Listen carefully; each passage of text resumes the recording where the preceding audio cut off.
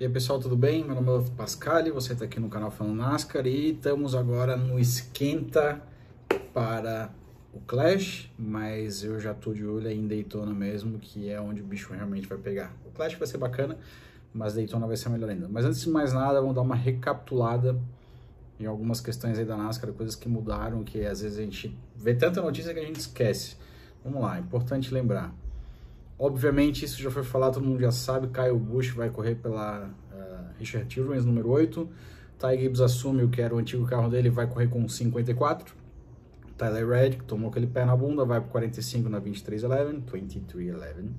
Almeidinha vai assumir o 16 na full time na Cup, e com isso o Chandler Smith assume o carro dele na Xfinity. Uh, Noah Gregson sobe o 42 da PL GMS, que agora se chama Legacy. Ty Dillon também deixou a pele foi vai ser companheiro do Corey LaJoy na Spire Motorsports. Imagino que deve ter aí alguma algum acréscimo aí financeiro para ajudar, que querendo ou não é uma equipe não vou dizer pequena, mas mediana, vamos lá. Se esperava mais até, tomara que tenha um aporte bacana aí para melhorar. Vai ser uma dupla interessante de acompanhar. Cole Custer foi rebaixado para Xfinity. Quem assume o carro dele é o Ryan Priest, que é a chance da vida dele, os olhos vão estar em cima dele. Lembrando que esse carro 41 é patrocinado pela própria Stutt Haas. Poucas vezes você vê esse carro com algum patrocínio, poucas vezes mesmo, na maioria da Haas. Então, um cara que vai ter que mostrar resultado na pista, né? Não só dinheiro. Ah, vai que, né? Mas, a princípio é isso. John Hunter Nemechek vai assumir o carro número 20 da Joe Gibbs Racing, assim como Sam Smith, que veio muito bem ano passado e incomodou pra caramba. Porém, o John Hunter vem aí como make líder e se espera muito dele para esse ano. Vamos acompanhar, já que se esperava tanto na Truck e o cara bateu na porta, na trave várias vezes, né? Vamos ver esse ano como é que vai ser. Sam Smith também. E o Parker Kligerman, que era aquele piloto repórter, vai pilotar full time pela Big Machine Racing na Xfinity esse ano, também é uma chance. Então, assim, a gente tem pilotos aí que volta e meia estão no grid e que estão recebendo oportunidades e eles vão precisar mostrar na pista esse ano. Então, vamos lá. É, tirando o Clash, que vai ser aquela festa, que já está confirmado Cypress Hill, uh, no intervalo vai tocar o Scalifa também. Então, assim, é uma festa, uma introdução, é um marketing da NASCAR. E, e, é legal, é um esquenta, vamos assim dizer, porque a verdadeira corrida vai estar tá ali no, em Daytona. Daytona a gente já tem confirmado alguns pilotos interessantes que precisam se classificar. Travis Pastrana, como já foi falado, Jimmy Johnson. Chandler Smith vai correr pela Colligan no carro número 13, fizeram um drama essa semana inteira e ontem, ontem, ontem que confirmaram. Austin Hill também vai correr e o Zen Smith também. Falta confirmar uma pessoa que a gente gostaria muito que corresse esse ano, que é o Hélio Castro Neves. As negociações com a Trackhouse não funcionaram, simplesmente eles preferiram reservar o carro 91 para circuitos mistos. Não sei se é uma questão de patrocínio, qual foi a questão, não saberemos até que eles resolvam falar.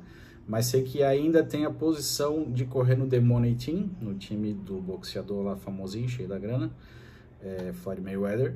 E pelo que ele hoje está em negociação. Imagino que seria questão, obviamente, como tudo é questão financeira, né? Então a gente torce aí para que o Hélio Castro Neves participe. É, também vale muito a pena destacar que é uma notícia muito boa, que já foi ventilada essa semana, que o Paludo vai correr três corridas esse ano. É, também numa entrevista que eu vi dele falando sobre correr em circuito oval, é, questionaram ele se ele teria interesse, ele teria sim, mas ele deixou claro que ele precisaria de algumas corridas para correr em circuito oval, que não é tão simples assim.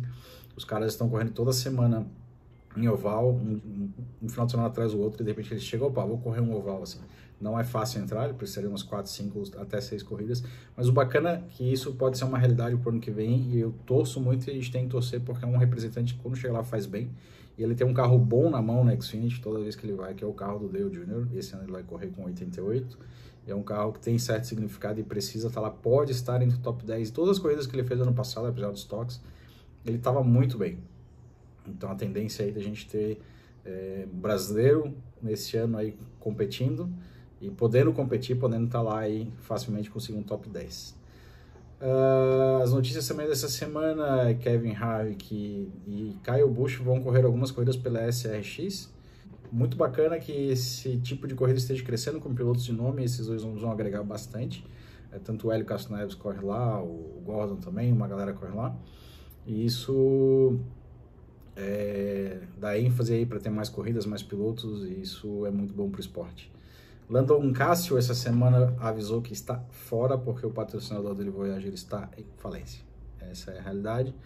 E com isso teve que retirar o patrocínio dele. Ano passado pagou, era um patrocínio de dois anos, ano passado pagou adiantado e esse ano, obviamente, não conseguiu pagar por entrar em pedido de falência. E aí Kevin Harvick já anunciou que é sua última temporada na NASCAR. Ano passado ele já tinha deixado isso bem claro, mas eu acho que ninguém quis acreditar e esse ano também. O mais interessante na entrevista dele, ele falou: "Eu não vou me aposentar para voltar e fazer três, quatro corridas no ano seguinte". Bom, isso é o que ele fala, né? Vai que vai que não volta. Ele quer se aposentar e se dedicar a outras coisas. O filho dele está correndo de kart. É possível que ele entre aí na SRX também para competir mais corridas. Enfim, é um grande piloto em fase de final de carreira e com certeza esse ano o bicho vai dar tudo que ele pode.